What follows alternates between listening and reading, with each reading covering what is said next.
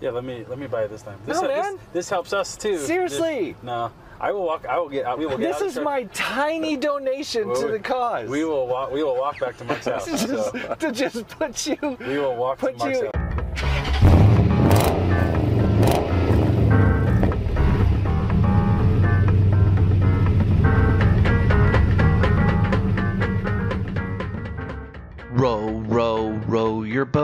3,000 miles across the ocean. Yeah, that's what's happening this year. The guys from Guardian Initiatives are back. Jarrod and Mark were on Ken's Think Tank two years ago to talk about their plans to row across the entire Atlantic Ocean to raise awareness for first responder mental wellness and suicide prevention.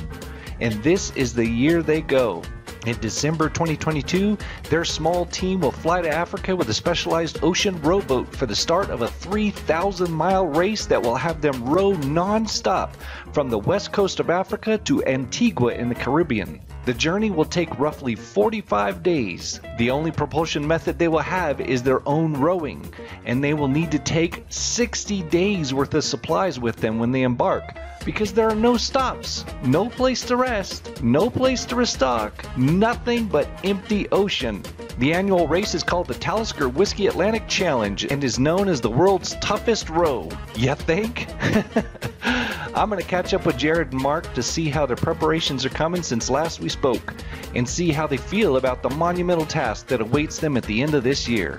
Want to see how it goes? Come along for the ride in Ken's Think Tank. Ken's Think Tank is made possible by the following sponsors. Do you need HVAC services or a tankless water heater? Four States Equipment.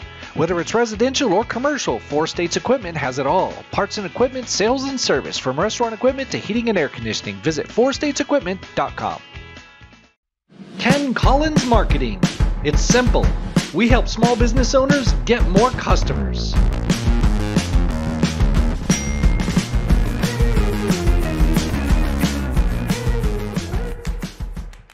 Show our sponsors some love. If you're watching the video, show us some love by smashing the like button. And remember, the views and opinions expressed on Ken's Think Tank do not necessarily reflect those of our sponsors. We've got Jarrod and Mark once again in the same seats Same seats. that you were in last Yeah, time. Switch. So I interviewed you guys like two years ago, almost, almost exactly two years ago. Oh, wow. Yeah, you guys have been busy for the past two years. We have, yeah. It's been uh, it's been super busy. Of course, when we talked to you our first time, we were gearing up and uh, you know had this idea of rowing across the ocean for mental wellness, and we never let that go. And Yeah. so the past two years have been a, a firestorm of you know fundraising and learning about ocean rowing and getting our boat and um, in the middle of working and family. Right. oh man. So you have the boat, Yeah. and got the uh, boat. right now it's it's getting a cover Mhm. put on it. So Yep, yeah, ABC Canvas is putting a, a cover on for us, which Right on. will help us out a bunch.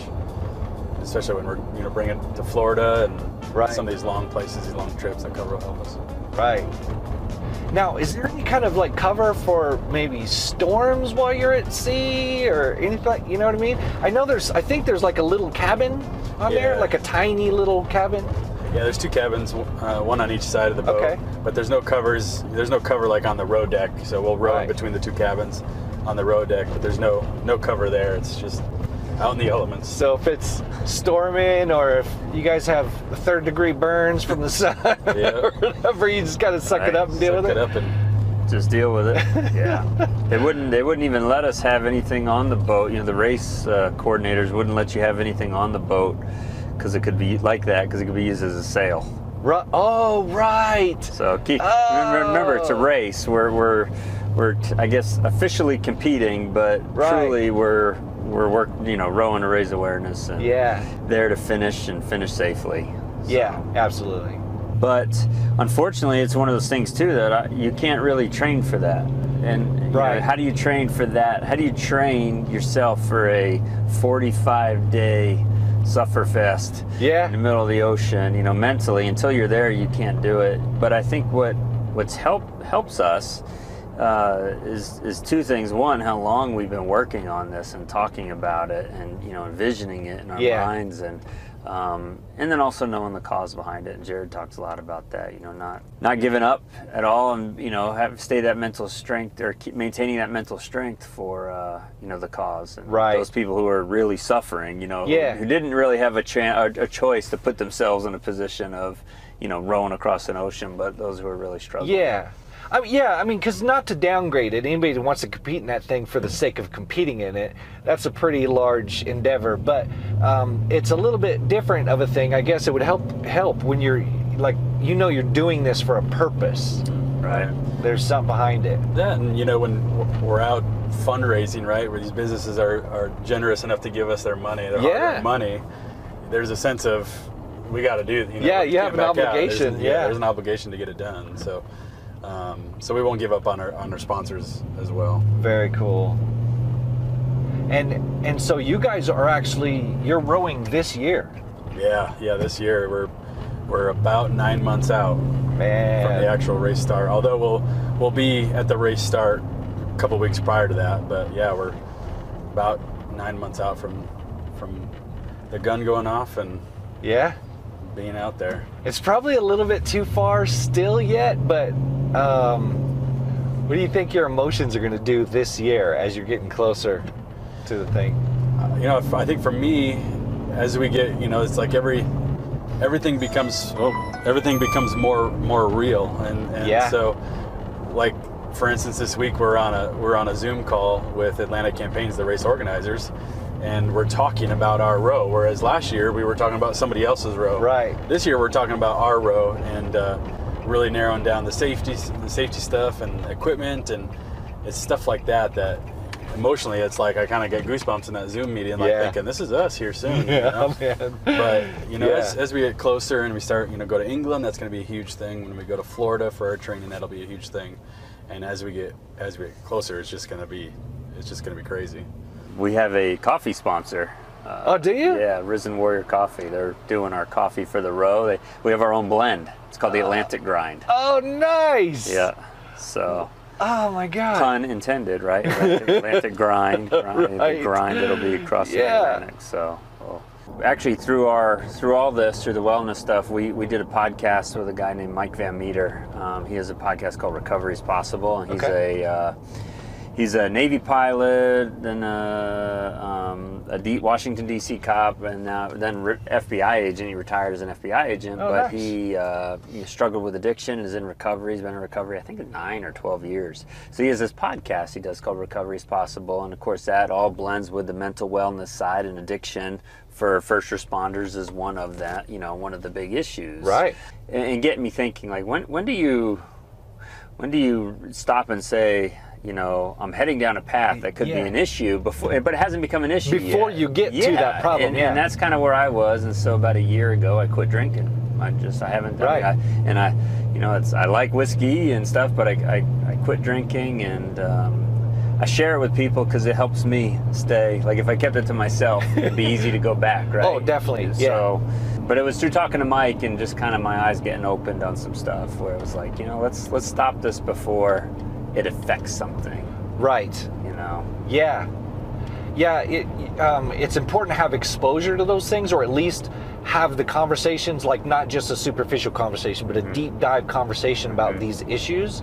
I was telling you kind of my issues with depression and, and that road that I went down that was um, really deep and really dark. And, um, you know, I struggle with, everybody does, with, with uh, some level of just, man, things are not just not going right. And then some people just yank themselves right back up out of it and all that. But I start to recognize the signs of the patterns of behavior that that are my reactions to the things that are happening around me that lead me down that path and once you're on that path hard to get off. man it's hard to get Yeah. off that path and so i start to recognize those things now Sure. and i bring myself back out of them um, you know and it helps to have people around you that that are also Yeah. you know supportive and everything too so But that aren't also. I mean, we this this relates directly with the first responder wellness cause, and and you know, being willing, being able to to make those admissions like Yeah. i am going down a road that's not good or Right. you know i'm realizing triggers that put me in somewhere that you know i don't want to be that's hard for me to get out of you know that's hard and i think this is one of the stigmas around it with first responders Yeah. you don't want to come forward and say that because of that fear of what can happen know in terms Right. of what are people going to think of me You're the Um, strong person. You're the yes. protector. Um, there's an extra element of, for it if you're a man, because I'm Mm-hmm. a man, and um, and how am I going to be viewed? How am I going to view myself? Um, is this going to put my job, my my career in jeopardy? Like Correct. everything. Yep. Yeah. So there's a lot that goes with it, and that's part of you know with us with the awareness and talking about it. You know, trying to get it out there more and more. You know, it's it's okay to talk about it. It's okay to realize you're going to Yeah. have these these um, these issues. You know, you may Right. you may be affected, and how everybody's going to cope with it different. You know, we talk about not every. You know, the, the amount of first responders that suffer, to some degree, they will go through some type of, you know, crisis. Yeah. Now, how that affects them all depends person to person and Sure. their their you know what they believe and how they cope with stuff and their you know the Right. support system they have and um, but this yeah that's all direct I mean it, it's it's no different right it's from from Right. a non first responder you know the the veteran the first responder it's Yeah. all the same Yeah, it's just different situations leading you down the same path. I mean, the path is the same. Right. And and some people just deal with things better you know? There are military people that have no problem whatsoever you know? Post-military people people that have been in in uh, combat situations they're like yeah that sucked but i'm fine. Um, you know and then other people it's really traumatizing. And then I, I know some first responders like the thing that always got them is when they roll up on a situation that involves a child you know? And that's like really tough It's to huge, yeah. process through especially if you have your own children. And um, um, but some other people they just are able to process through that Right. and and realize that it's not their thing it's a thing that they're helping out and But recognizing there still is that stigma, not just with first responders, but with everybody. And, you know, so trying to bring stuff in, you know, to help with that confidentiality, help people feel Right. comfortable going, especially first responders. yeah Um, you know, we were able to, uh, one of the resources and, and um, that we were able to bring in uh, with Guardian uh, and kind of share, already shared with some places, is called, um, it's Lighthouse app. And they, they, they build this app for first responder agencies and it's all confidential. Like every, every officer at the agency can have access to it. They actually have a public facing one now, but it's all confidential and Right. it's nice. And, you know, trying to get that information out. You know, list of counselors you can go see and, and things. So and no one knows that it Yeah, that no you're doing that right. and yeah because while I agree, it should be just you know common talk, open talk. It should be. There's It's still but it's that, not. Yeah, yeah, still we're not that. there. Well, I think it's a process, and I think uh, the more people like you guys that are like raising this issue and raising awareness of it and making it part of the conversation, I think it just starts to normalize it more, so that people aren't afraid to talk to it. You know, talk about it. Oh, that's uh, we've been lucky so far. I mean, we've been able to go in. We spoke. Farmington Fire Academy asked us to come in. We went in and spoke with their cadets. You know, and if we can start that early on, that normalizing process with first responders started early on, Right. in the careers, and make it Right, make yeah. it normal. You know, we we still have a lot of people who, you know, the, the old school guys and Yeah. gals, are, you know, ah, whatever. That's just part of the job, you know. but the, the, you know, the more the more we can get talking about it, they'll be they'll be the uh, the minority, you know, and hopefully recognize it themselves and, Right. and accept it as well. Right. Or at least they know if while they may outwardly act one way, if they realized, hey, I need help, they know it's Yeah. out there and they could go to someone, you know, Right. someone and talk to. Them. Yeah. Yeah, pa- part of that process. Keep your face on, like, yeah, fine, and then secretly you're going Right. to see somebody. As long as you're going to see Correct. somebody. yeah, yeah. If that's the case, then great. Yeah. Wow. So, um, have you guys you guys been raising money and and everything for the cause? We're, we're still about thirty thousand dollars away from our goal for this year, but And so, what is that? What is the like the non-row stuff? What do you what are you guys doing there? yeah. So bringing in trainings, like we're able to do a training for a bunch of clinicians throughout the state, about 150 clinicians, and um, it was a Zoom at that time because of COVID. But Right. we were able to do uh, training for them so they could be culturally competent on how to deal with a first responder. Okay. And so some, you know, the funds that we raised, you know, helped put that training together for us. Um, Right. We've got uh, training coming up in May. Um, trainings come up in, in September. Um, so, and then things like, you know, treatment. Should a should a first responder here locally need uh, need to go seek treatment, we want to have money set aside for that as well. Okay. But also, I guess since talking to you last, you know, we originally our awareness, training, and treatment, like both you just said, was those are our three main things, and we Right. realized in there that resources, sharing resources, has been huge. We've come across so many resources that are out there, other organizations like us, or bigger Yeah. or smaller, that are just there to help.